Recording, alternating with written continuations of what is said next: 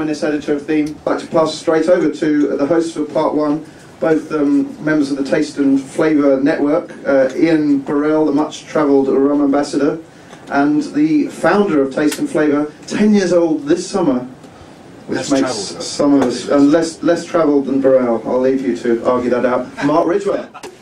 There's some truth in the fact that for years now, I've certainly heard people saying this is going to be the year of rum. And evidence today suggests this could well be the year of rum. I have Ian with us today because there's nobody more committed, more passionate about rum than Ian, the rum ambassador. When it comes to rum, it's all about sharing.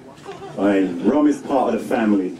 It's not something that you just like drink by yourself. You can drink by yourself, but most of the times when you're inside a bar or you're at home, it's all about sharing. So we're gonna share the love. So one glass between eight, I think it is. I do get a lot of people inside my bar that will come in and will say to me, I don't like rum.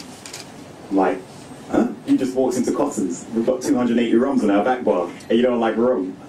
And I'm like, no, I don't like rum. I said, well, maybe it's the rum that you've tried that you don't like, but there definitely is a rum for you. Because the beautiful thing about rum that I found is that it's probably the most versatile spirit on the back bar. Rum will always be there. So when someone says to you, is rum the next big thing? You say, no, it's always been the big thing. It's consistent.